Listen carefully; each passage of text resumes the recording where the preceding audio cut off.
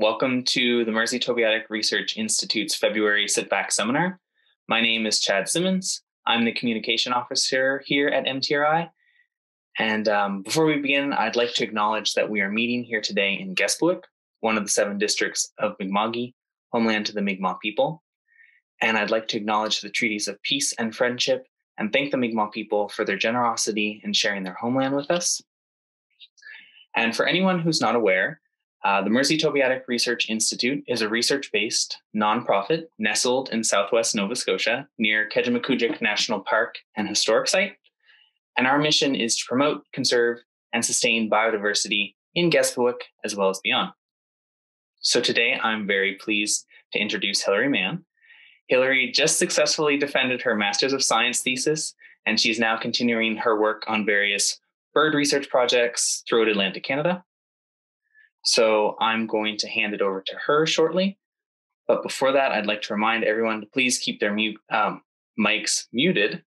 And if you have any questions during the presentation, you can type them into the chat bar or wait until the end. We'll, we're going to have a question period. So, Hilary? Great. Thanks a lot, Chad. Um, thanks everyone for coming. It's really wonderful. Here, I'm just going to make sure. Are you able to see that? Okay. Yeah. So it's really great to have everyone here. And I guess one benefit of this being um, virtual is that I know that there's a number of people here from Ontario and BC and elsewhere. So that's really, really great. Um, I'm really excited to talk about this today because I've been talking for the last three years a lot about kind of very research heavy side of barn swallows, but I think that there's a lot of really interesting stories and uh, kind of really interesting tidbits about them that I have found over the years that I'm really excited to share. Um, so there will be a couple points that where you can um, where there can be discussion if you would like throughout the presentation, which we can judge as we're going whether or not we just want to save some questions for the end. So I want to start off by just asking this question. When was the last day that you did not see or hear a bird? Now you can feel free to type your answer in the chat box, or if you want to unmute yourself and say a quick yes or no, I think that this might be a really hard question for a lot of us to answer. I can't actually see the chat box when I'm doing this. I can let you know if someone says right. it. But so I think that this is really hard because birds are so pervasive in our lives. They are found in nearly every habitat. Um, and they also look really neat a lot of the times and catch your eye. But it doesn't need to be a bird as interesting as the ones that are here. It could be something as common as like a pigeon or, or a crow or a gull. The chances are you can't really remember the last time. Some people are being a little cheeky and saying today. And Adam Ward says maybe on a cold day in February.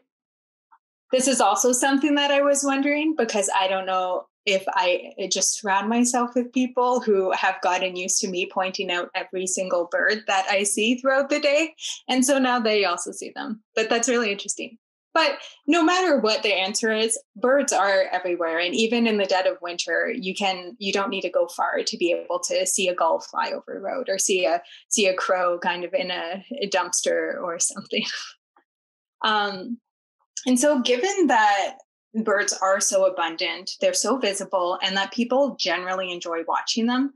They are really excellent animals to use as targets for citizen or community science initiatives. And so, bird watching is incredibly widespread around the world. And that means that there's this really immense network of experts that can be tapped into to help us understand what is happening with the birds around us.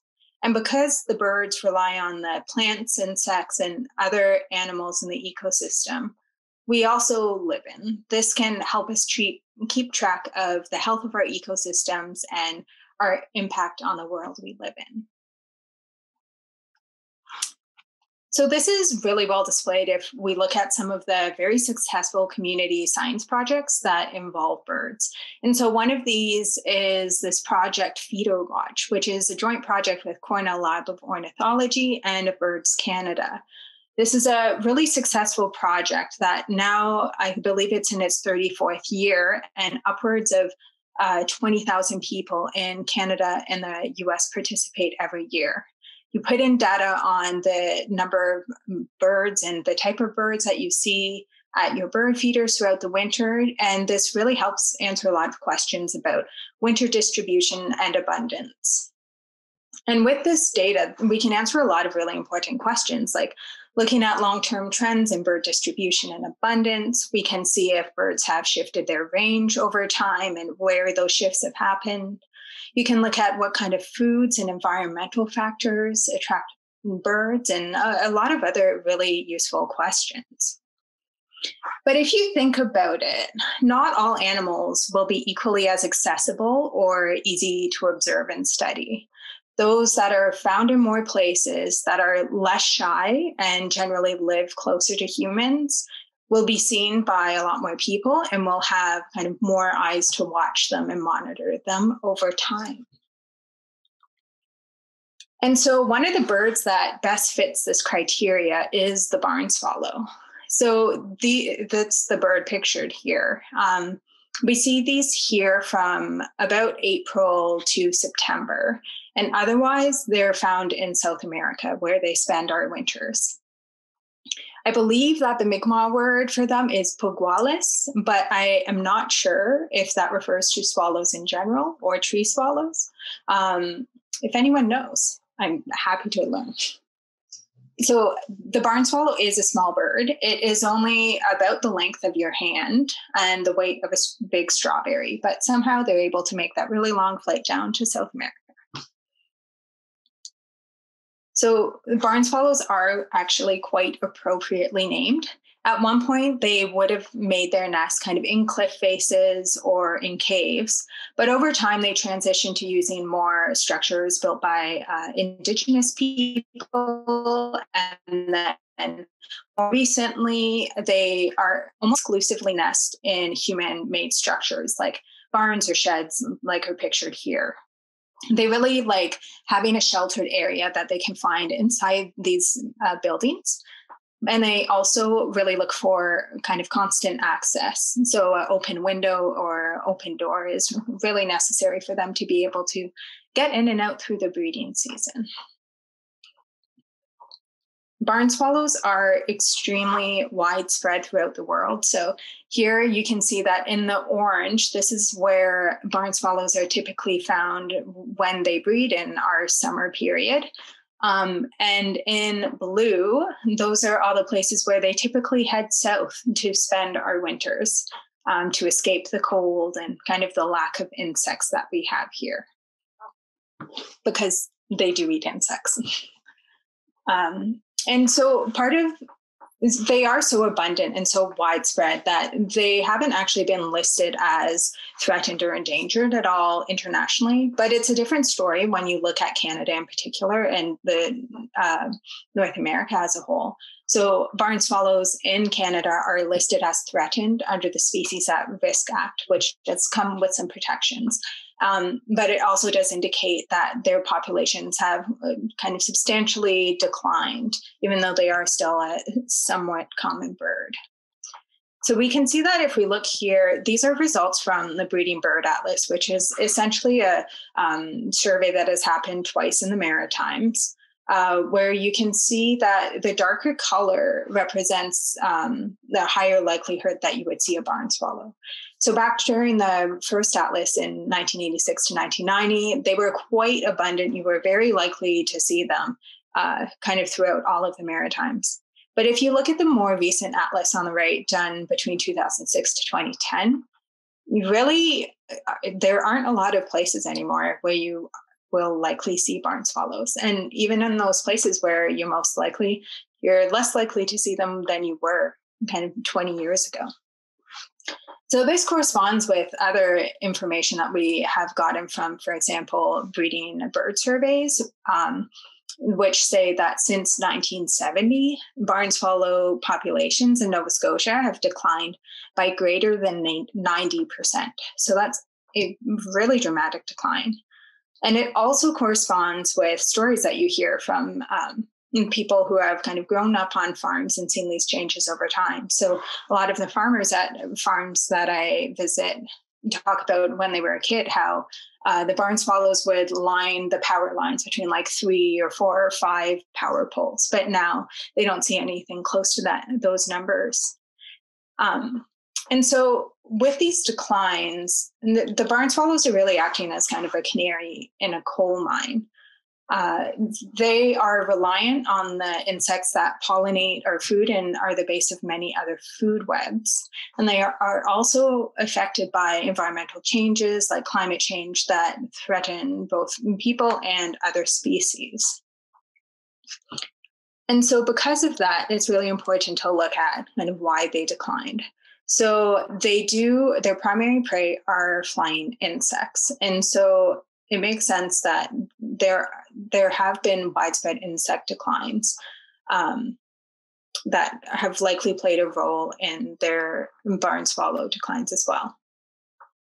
We also see that pesticides have likely played a role in their decline, where increased pesticide use both decreases the number of insects available, but also could have harmful effects on the swallows themselves in terms of their toxicity Habitat loss has also been a major contributor to their declines. Um, this is a photo taken from the Tantramar region, so the kind of border area between New Brunswick and Nova Scotia. And I forget what year this was taken in, um, but you can see all these kind of marsh barns dotted across the landscape. These were once home to a large number of barn swallows, but now I think that the last count they were maybe three or four of those barns left standing, down from hundreds.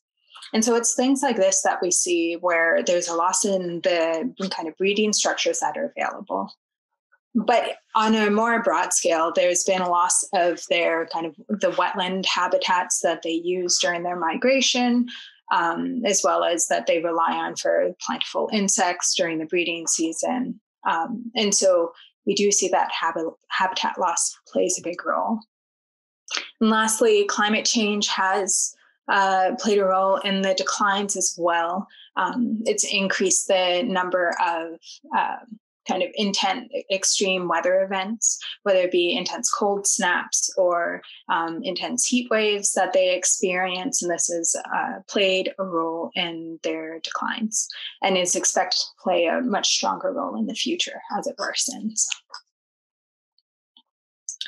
And so at this point, you might be asking, how do you know so much about swallows? And that's not uh, like me personally, but in general, people. And so this kind of goes back to what I was talking about with the swallows um, being kind of really closely intertwined with people.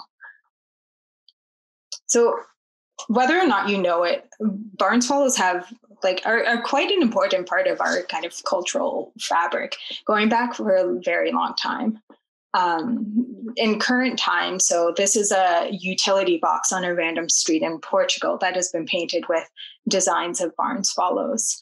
Um, and then also pretty much, well, not all, but a large portion of the kind of shirts that you'll see with generic bird shapes or tattoos or just like bird related paraphernalia.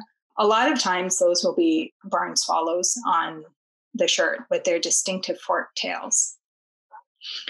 And so it's not just now that we see a lot of these um, kind of bird themes in the kind of cultural artifacts of our time. If we can look at the scent bottle that was found in what is kind of current day Turkey around 600 BCE. So this was a very long time ago, and it's clearly a barn swallow with its kind of reddish uh, neck and its forked tail. So even looking way back, we see that um, these barn swallows have played in their symbology and kind of their artwork have played an important role. And this is reflected in a lot of kind of stories, myths, and legends over time. I'm curious if anyone has is familiar with any kind of stories or um, omens. If there, if anyone has any fables of um, barn swallows that they know, I'll give you a minute. I'll also take a drink.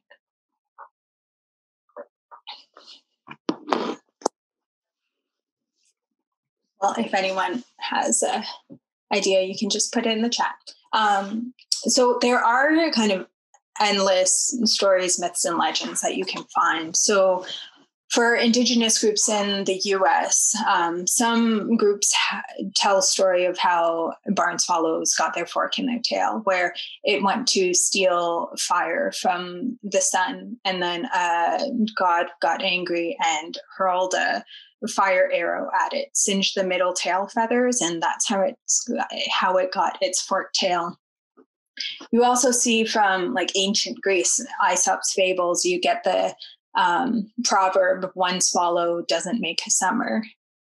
And it goes on and on, especially in terms of um, the arrival of springtime. In one area in Germany, they used to have a watchman on a tower who every spring would keep an eye out for the first swallow of the spring. And when it was seen, the magistrate would announce it to everyone in the town as a sign of spring to come. You also see a lot about the swallows being either good or bad omens. For example, in Greece, if a swallow was found inside a house, it needed to be caught, smeared with oil, and then released to ward off bad luck. But also, if you they nested in the outbuildings, it was generally thought to be lucky and protective against disaster. Um, and in another example, in Norfolk in the UK, a gathering of swallows on a roof foretold death of someone in the house. So, not there's many, many more. And if you are interested, these two uh, resources that I've listed have some really interesting stories. Um, yeah, the, the, that's a good source to see more. So, not only do these stories tell us about how barn swallows have been a part of kind of human life for a very long time, but they also convey some fundamental knowledge about barn swallow biology, like their arrival in spring after their migration. And you can actually look at kind of stories um, and see how knowledge changes over time, especially with new um, kind of research. Um, so it was a long held belief that when birds left for the winter time that they were hibernating.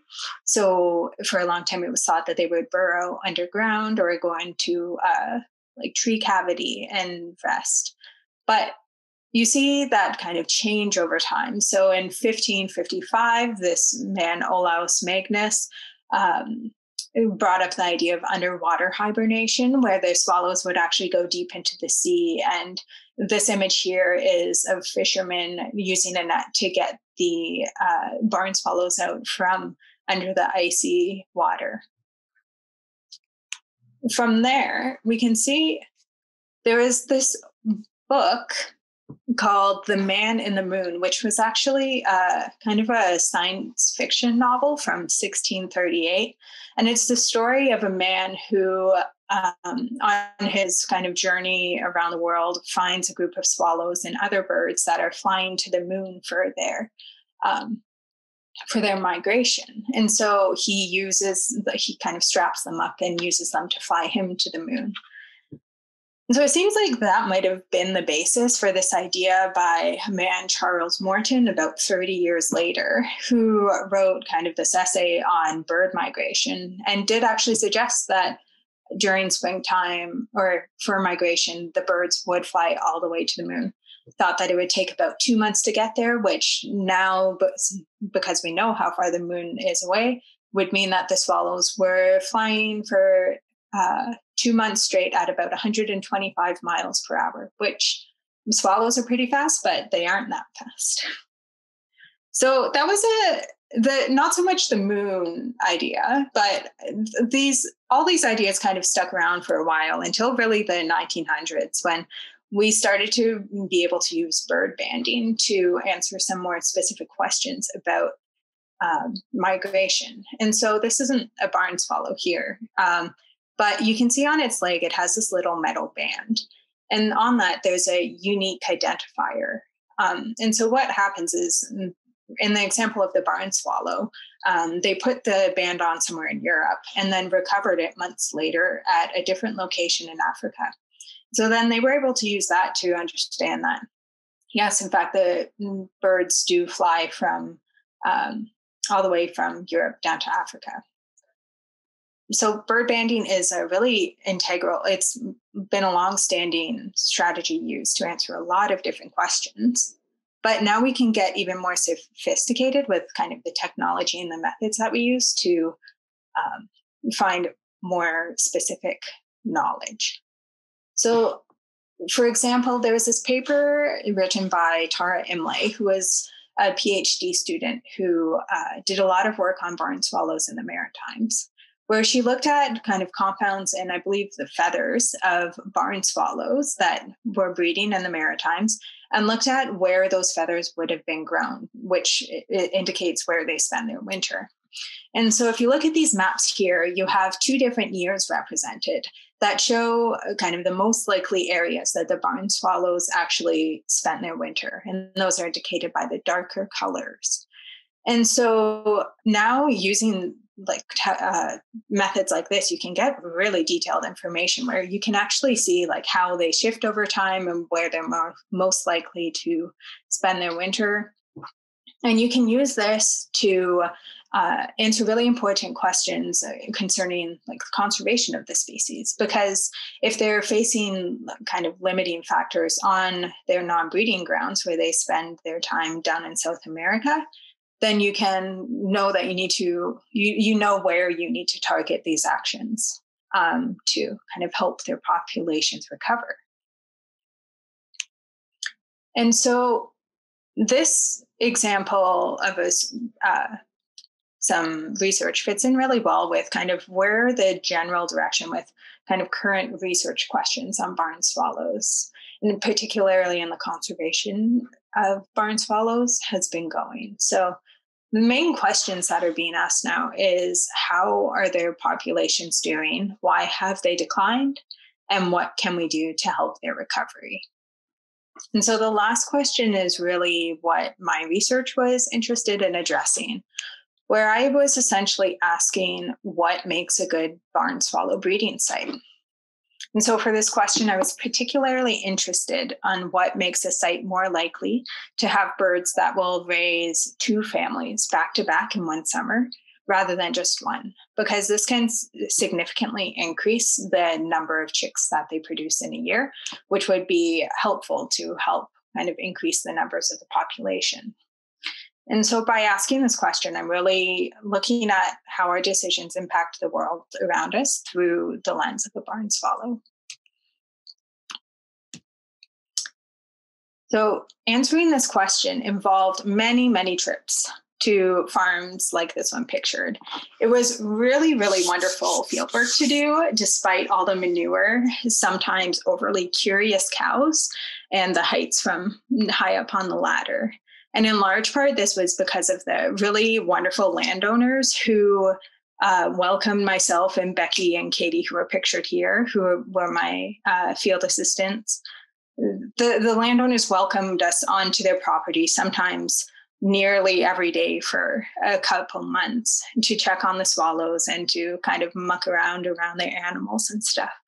And so it's because of people like them who make all this knowledge possible because we wouldn't be able to access these swallows without being able to kind of come into their homes.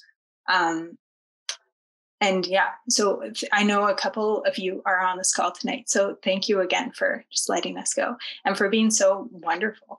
Um, I would also like to mention that one of the reasons why, why this work was so wonderful was because of all of the incredible pets that we got to play with.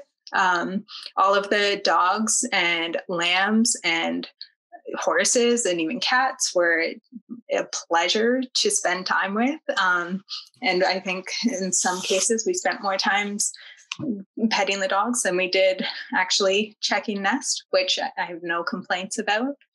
Um, also, can't go without mentioning the the alpacas. Um, need to give Margot a shout out for letting us bottle feed Dylan, the baby alpaca, which I think was a real highlight of our summers. Um, but, anyways, getting back to the question. So, when I ask what sites are the best, so what I ended up finding was that sites that have little human infrastructure will generally kind of produce more swallow young. And so that's places that don't have as many kind of buildings or parking lots or roads surrounding it. And I'm not showing the Rona here just because they kind of help build those things. Um, but this is actually the Rona in Upper Tantallon, which has barn swallows that return to it year after year, flying in and out of the open doors uh, into kind of where it says lumber yard over on the left. And so, all barn swallow sites where there are currently barn swallows are really important for the species. But if we're to kind of most effectively create conservation plans for the species, we really do need to prioritize which sites should kind of receive the most attention and most protection. And so, if we look at a site like here, where there is a massive parking lot and other stores nearby, this isn't necessarily going to be a better site well, this won't be a better site than say, uh, a more rural area that has kind of pasture and um, farm fields around. Um, so we can use this information to help kind of prioritize uh, conservation of sites and uh, figure out which kind of landowners we should engage with more. The barn swallows also need open areas like uh, pastures, wetlands, uh, meadows. These are areas where they will forage for insects and that are really important.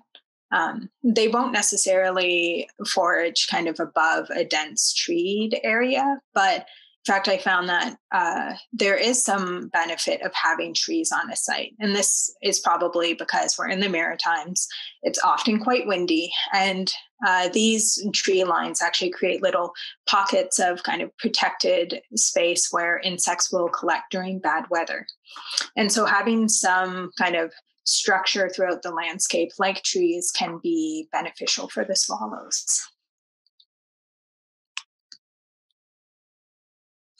So I do want to mention livestock because it's interesting. Um, I didn't find that the presence of livestock would necessarily impact whether or not birds were having these multiple families in a year. But there is a lot of research out of Europe that really highlights the importance of especially cattle um, in terms of kind of creating a better nest site. Now, there's a couple of reasons why I might not have found an impact in that um, sometimes while cattle may still be important for kind of attracting barn swallows to actually come and breed at a site, but won't necessarily have an effect after that. But also, all this work done in Europe, it's in a really different landscape than we have here in the Maritimes. So, for example, the UK has about 44 times the density of cattle and 1,400 times the density of sheep than we do in the Maritimes. And so they just have likely experienced like quite different pressures in terms of um, kind of selective pressures for the barn swallows in North America versus Europe. And we still don't really know um, how livestock play a role in North America or in the Maritimes. Also, want you to consider metal roofs for a second. So, a lot of the older style barns that swallows have typically nested in look like the ones on the left, where you see these nests like pretty close up to the roof of um, where there's wood. So typically they'll either be shingles and then wood or some metal and then wood. And so what we're seeing more now is more like these barns on the right. So in these cases, there's this metal sheet that is directly exposed to the sunlight um, and has swallows nesting directly below it. And so, what ends up happening here is that because the nest um, below that metal roof is only probably like five to 10 centimeters away, it can be extremely hot. Um, it would get up to upwards of 45 degrees Celsius on just like a warm, sunny day in the summer. And so as a result, we would sometimes walk into, especially this building um, where this photo was taken, and there would be chicks all over the ground, kind of running around. Um, that were not yet ready to fly because they would have jumped out of the nest before they were ready to fly. So this is particularly an issue because if there weren't any predators around, they would just um, they would just be able to uh, the adults would continue feeding the chicks. But with lots of raccoons and cats and such, there's essentially no chance that those chicks will survive. So this is something that um, will be worthwhile to consider more in the future. I don't know if uh, there would be some way to encourage them to nest further away from the metal roof or whatnot, but this is something I think should be kind of discussed more in the future. Lastly, do you want to bring up cats? So cats can be a bit of a controversial issue, um, but they really are a huge source of mortality for birds. Um, we do have like natural predators like raccoons at these sites, so those would we would typically come and see the photo that's on the top right, where the nest would just be completely torn down. But there were a lot of instances where we would just walk in and see the image on the bottom left of a little pile of almost fully developed feathers on the ground that would have been eaten by um, a cat. And so it is, I mean, I grew up on a lot of farms, horseback riding, and I know that like barn cats are everywhere, but it can be if it's possible, like keeping cats inside, especially during kind of June when a lot of the swallows are first leaving their nest and learning to fly. That's a huge source of mortality for them. And so um, outdoor cats are definitely a huge issue. I do also want to point out this. So, the underlying assumption with all this is that at these sites there is a building to nest in. So, typically, somewhere where a door or a window is open from at least April to the end of September. But what happens if that building needs to be removed? Sometimes this is necessary, especially with um, kind of safety issues if it's cause if it's a hazard to people around.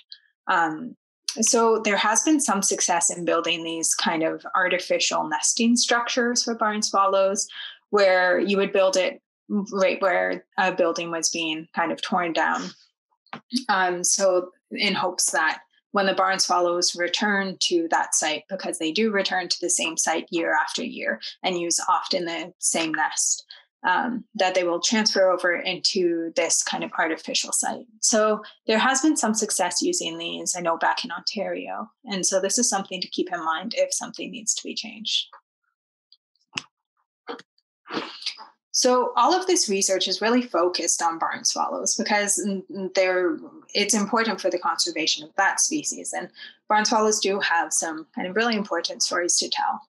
But we can use the information that we learn from them because they're easier to study than a lot of other species and um, kind of move towards creating a healthier wor- world for these animals to live in. And this will have cascading effects through uh, other animals. So, if we're able to increase insect numbers, for example, that's going to help all the other aerial insectivores that depend on the same diet um, if we help conserve the wetlands that they need for their migration, then that's going to help shorebirds and waterfowl. And there, there will be all these cascading effects. So I just want to end the presentation by talking a bit about more broadly what you can do to help birds. So first, it can be really helpful to just be mindful about birds. So even just noticing um, when there is a bird. It's it can be kind of a slippery slope to get into. Um, I know that I wasn't really that interested in birds until I started going for walks with m- one of my friends in my undergrad, um, who was very interested in birds. She would just point out all the different species to me, and now I can't go walking anywhere without seeing every bird and needing to stop and look at a bird, which I'm sure many of my friends can attest to. But even just noticing them, you will be surprised with how quickly you can kind of become an expert on even the little things, like when you see the flock of crows flying overhead, or when the like when the finch comes and makes an appearance at your bird feeder. All these can eventually lead to maybe you being able to contribute to some um, some community science endeavors.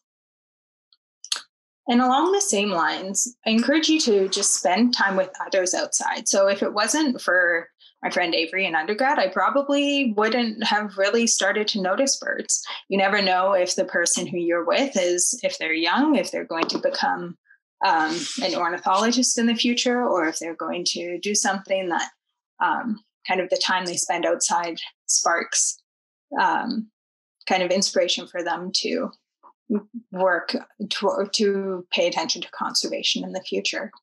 And I want to put in a plug here for this diversity in nature program um, that is being run through some other grad students at Dalhousie, which um, is specifically geared towards making sure that BIPOC students, so Black, Indigenous people of color, are able to get the experience spending time outside with mentors who are also BIPOC um, that they might not otherwise have access to. So it's supporting programs like that, which can get people outside who might not necessarily have the chance to get outside usually, can be really useful.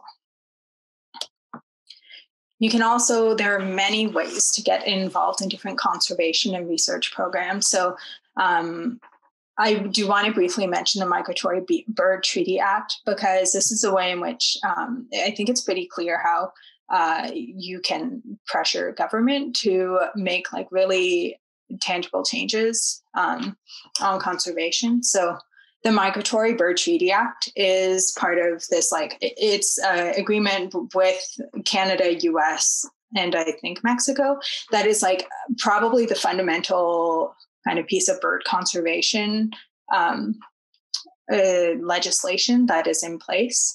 It limits the well, it makes it illegal to like harm birds and their habitat and whatnot. But um, last year, Trump started to repeal a really important component of the legislation in the states that essentially makes it really easy for industry to kind of have incidental take without any um, any pushback.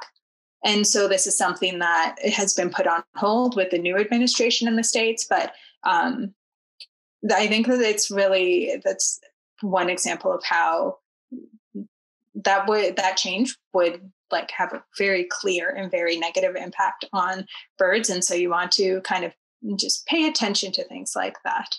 Um, you can also look to groups like Birds Canada, Nature Conservancy of Canada, Nova Scotia Nature Trust, and MTRI as places that are responsible for a lot of really important um, research and also like land conservation, which can have really wide reaching benefits. And just I'm going to for a sec focus on Birds Canada because they have some really excellent uh, programs, especially geared towards aerial insectivores that are going on. So I don't know if Ali's on the call, but she's the um, aerial insectivore coordinator for the Atlantic region. A couple of the projects that are happening this year will be Swift Watch, where you can be involved with um, kind of monitoring chimney swift roost counts. Um, you can always contribute data on monitoring uh, bird nest for Project Nest Watch. And one really interesting endeavor that's happening is that you can get signs for free for swallow friendly sites in both English and French. So those are the sign is shown on the right where it's a kind of public display that you are swallow friendly property. If you do um, kind of take these steps to uh, positively impact these birds. And so, if you want more information on these, there's a link at the top for Birds Canada where you can go to um, see the citizen science data. And then also, Ali's contact information is at the bottom of the screen. And I'm sure she would be happy to hear more about that. And with that, I think that we can, yeah, we can take some questions, but also it would be interesting to hear if anyone has any other ideas for how you think that we can help birds or swallows in particular, or also if you have stories about um, barn swallows, maybe growing up, or maybe where you live now, you have barn swallows that you've come back every year and stuff. And yeah, thanks for thanks again for listening. Thank you, Hilary. It was a wonderful talk.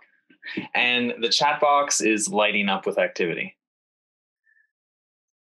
So Barb says um, she thinks swallows have learned that barns that have livestock keep their doors open, and buildings without log uh, livestock um, tend to keep them closed. Maybe that's explaining some of the uh, results you're talking about. And she also mentions where there's livestock, there's manure, and manure and insects. Yeah, so that was particularly interesting why I didn't actually find a benefit for livestock for my research. Um, we fully expected that because there are more insects where there are livestock, that um, it would have been really beneficial to have them. But it's not the first study that hasn't found an effect of them. There's some other work done in Ontario recently that found that having livestock around didn't actually kind of change the breeding success. But I still think that, yeah, I, I think that they do play a role definitely in like having a barn swallow be at that site. Um, because they can be tricky to attract to a site. But I think that if you have livestock and you have kind of an open building that's appropriate, you'll probably have a pretty good chance of seeing them. Does it have anything to do, Hilary, with the types of insects they're eating? Mm, yeah, so they they eat they can be a bit generalist. They definitely do prefer dipterans. They that so those are just like flies. Um, but they will eat like dragonflies and um, mosquitoes. They they'll kind of eat a lot of different insects. I don't know. Sometimes they might. Something else that someone brought up recently was that in Europe, they have different flies that live around the manure than we have here. And that might make a difference, but I, I don't really know anything more about that. Okay, and Brad mentions that if people can block off access to the nest so that barn cats can't get to them, that's also effective. Yeah. So in some spots, there will be spots like if there are doorways where the cat would really easily be able to hide and get a swallow coming in and out, then it'd be a good place to block off. I mean, it's kind of like the best thing that you could do would have no cats there, but then there are different things that you can do to manage, like supervise them when they're outside. I think that there was also a recent study that showed that if you feed your cats more and have more playtime with them, they're less likely to actually kill um, more birds or rodents around so that hmm. they would have less harm. Okay. Um, someone asks if you need to relocate a nest out of season, uh, what is the chance of success? Yeah, I don't think that they are there, there isn't really any data on that. Um, they can, I know that there have been like really mixed success with those uh, kind of artific- artificial nest sites. Um, a lot of the times they just won't come back, but I think there was one where they managed to get like 10 of 15 pairs nesting back in this kind of other structure that they built beside an old barn. So I think it can be really varied. Um, and I don't think that there has been much work to really like quantify that, but it should definitely be something that receives more attention. Okay, we just have some people commenting that they like to eat honeybees, apparently. Ah, neat. Um, okay, so Trevor and Julie ask Are they threatened in many other areas outside of Canada? Or North America? Yeah. yeah. So outside of Canada, we typically they aren't as um, they haven't really experienced that many declines in kind of the southern US, but in a lot of other areas of the States and Canada, they have declined. If we look over to like Europe, um, the declines have been a bit uh, kind of not even across Europe, but 20 to 50% declines is what I've seen there. So it seems like the one the declines in the Maritimes are kind of among the greatest and almost that I've seen in the world, which doesn't quite bode well for them here. Yeah. Okay. Um, are there any ideas as to why barn swallows in particular have been affected so much more than other bird species like tree swallows? Yeah. So when you compare barn swallows and tree swallows, so barn swallows will um, typically migrate all the way down to where I showed in that like kind of Argentina, Brazil, Uruguay, that area. Tree swallows are much shorter range migrants, so they'll only go down to kind of like southern states, mid states even. And so there's been a lot of research showing that kind of long distance migrants do experience greater declines than shorter distant migrants. Um, maybe because of the demands that that places on kind of their bodies for that really, really long migration that they have. Um, and so that could be one reason why.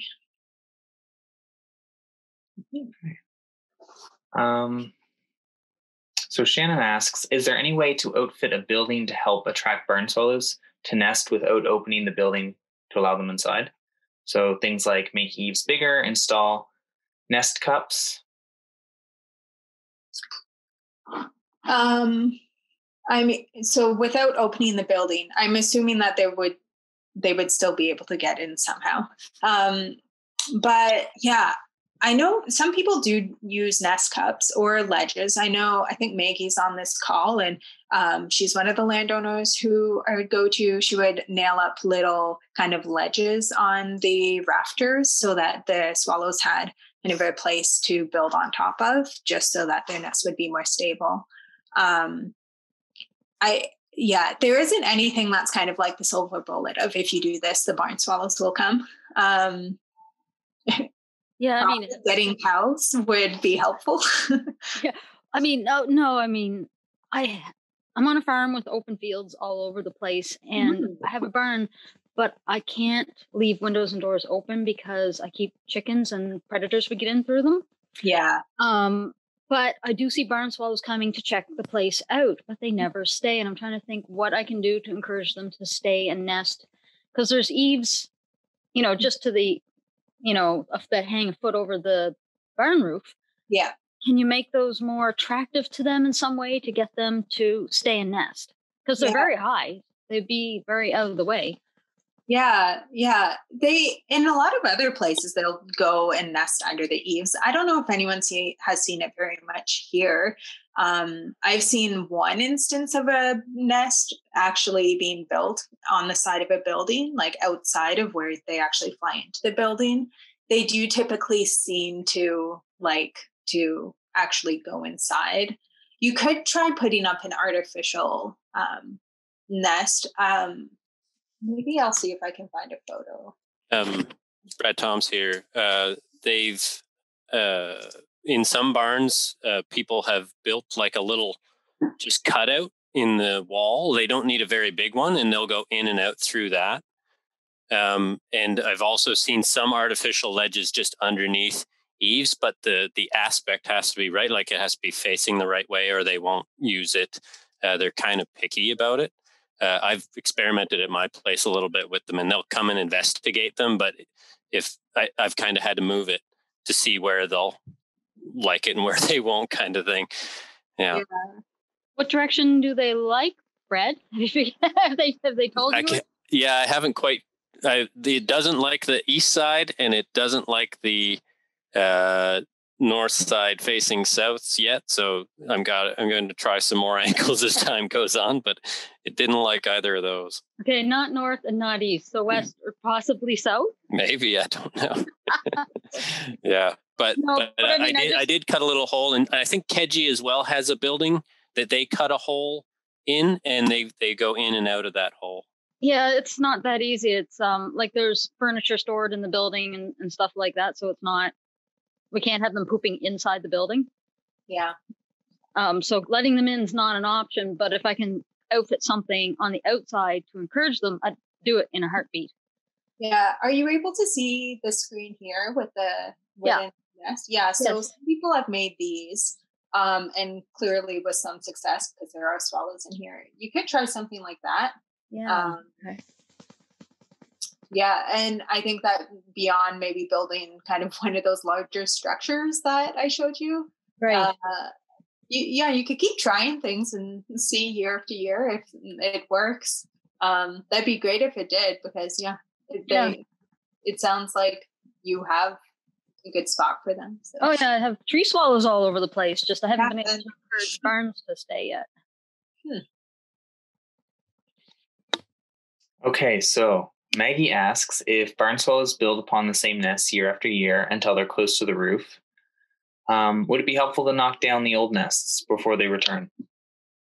Yeah. Um I've seen some pretty tall nests, like getting about this high where they do get really tall. They they will build new ones if they want. Um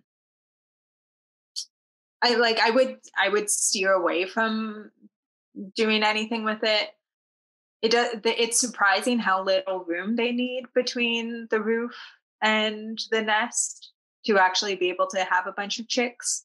Um, if it's like absolutely the only spot where there would be a nest possible, then maybe. But They must fall down on their own after a while. It's impressive how long they can stay up. Like there's one site that I go to where there's about 120 old nests around, and about 15 of them are used every year. Um, some of those nests have got to be up there since uh, like at least 15 years. Um, and they aren't actually on top of anything, they're just up on the side of a rafter.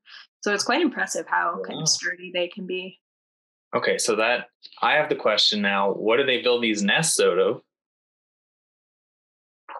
Yeah, they they do it with mud. It's they make hundreds of trips um, where they will go to a little mud puddle, scoop up a little scoop of mud, then go and stick it on the wood and just stack that. Which is why the nest can have kind of almost like a pebbly ex- uh, appearance because it's each of those mouthfuls of mud.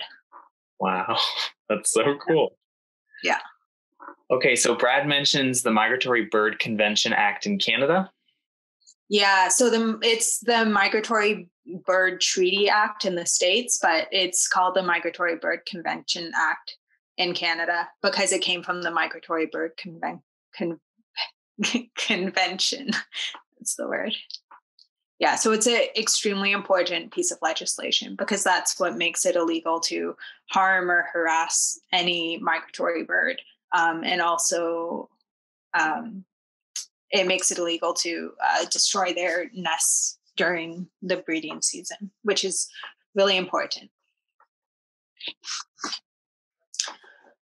Okay, so Anna asks, uh, do they need oh, do they nest in dead wood structures anymore? And if so, could some areas of like conservation protection be helpful in maintaining their populations?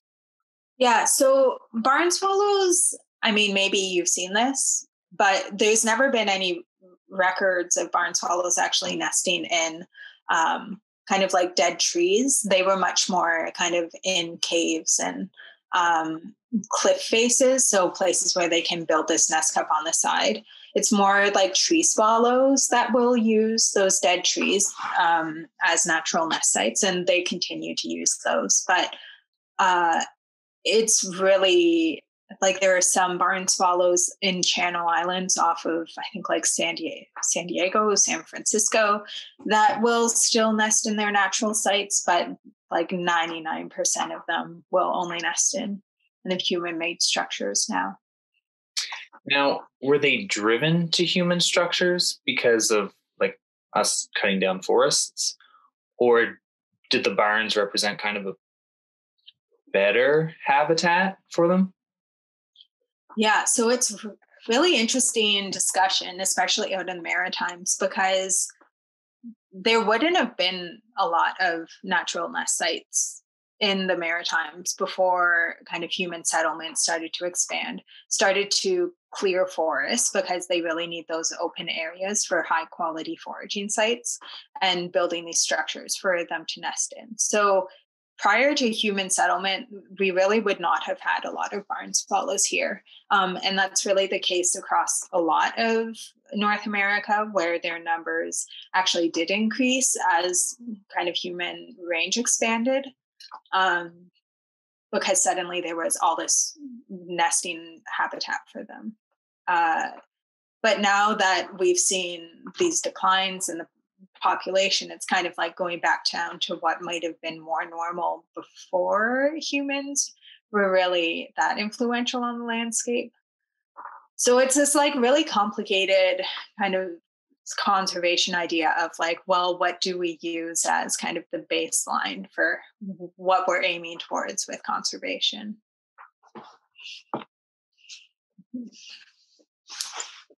Okay, so Anna asks Are there any known habitat fragmentation effects on their migration patterns? Mm. Uh, not that I know of. Uh, their migration in general is not very well studied. Um, we don't know a lot about it. Tara Imlay, before she moved out to BC, started to do some work um, tracking where the birds actually go on their migration, but um, there were some logistical issues with that. Plus, she got a job and finished that work. And so, um, yeah, we don't really know. Um, yeah, I, I can't really answer that question. there needs to be a lot more work done on that. Has anyone erected any artificial nesting structures in Nova Scotia? I don't know about Nova Scotia. Um, there was one put up on PEI last year, I found an article about. And I think there's also one around uh, Memramcook in New Brunswick, just over the border. But I, not in Nova Scotia that I know of. Someone else might know, but yeah, I'm not sure. Um, so Nicole asked, do they use grass with mud in the nests? Mm, not that there's definitely the occasional piece of kind of mitre hay, or I noticed Beth's comment about the horse tail horse tail hairs intertwined. There's definitely other stuff in the nest, but I don't think it forms like a major structural component. I, I, think that it's probably more so a kind of like they go and scoop up the mud and happen to get some other stuff. Although the horsehair seems much more intentional. It's in a lot of nests.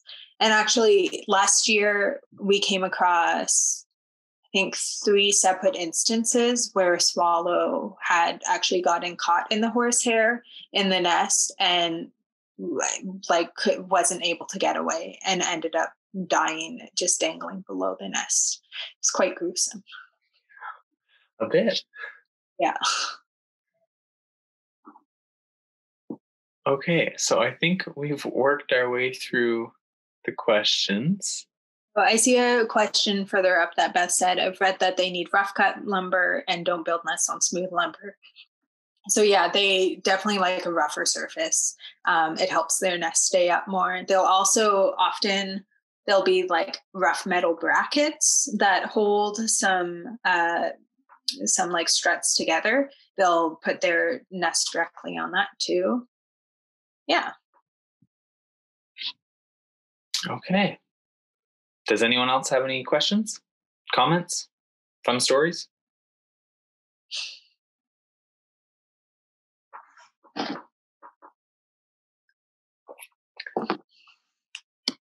Okay. Well, with that, I'd like to thank Hilary. Oh, got something in the chat. Uh, oh, yeah. Maybe they'll build on a lot of things, kind of any surface that sticks out. Like lights, they'll go on top of doors if they're kept propped open at a particular angle for so long. Wires. Some of them aren't the steadiest. I've seen nests fall before. It's not great. Oh, oh, tangled up in cobwebs. Interesting. Okay. Well, thank you, Hilary. Um, thank you, Hilary. Oh, there's some feedback. Oh, there's some feedback. Oh yeah, I, I, this is Beth here. Um, I just had a comment. Mm-hmm. Um, so I, I, I, had asked. Um, it was kind of embedded in um, one of my comments um, about the uh, with most of the nests in, in in our barn. And I must admit, I say that last year we had the most um, barn swallow nests in many years.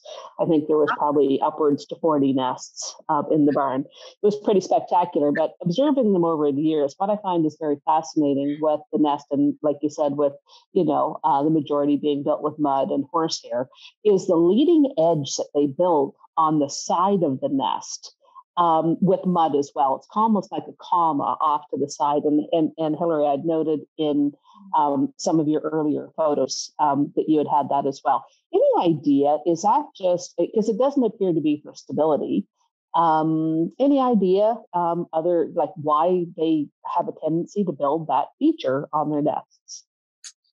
Yeah, I don't know. Um, I that's a really good observation and i i've never really consciously noticed that before so i mean it's great that you you, you did notice that but i i don't know um typically not a lot of work has been done to look at kind of the exact structure of their nest um maybe it helps with because when the birds come to feed the young later on they'll kind of like perch on the edge of it and feed the chicks. So maybe it helps them perch better on the side but yeah i'm not sure.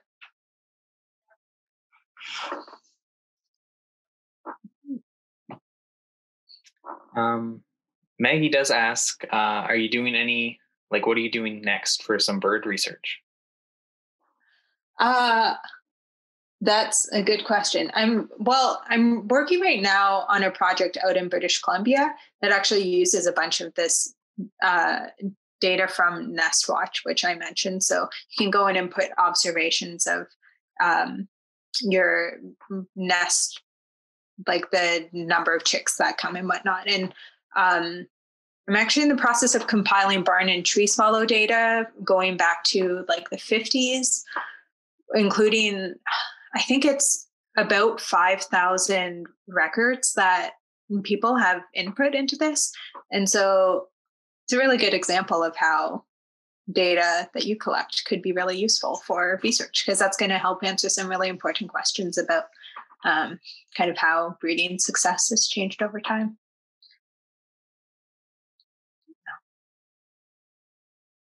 Oh, that's good to know that there's a nest structure in Keji by Eelweir. I'll have to look at it the next time I go. I was just thinking that.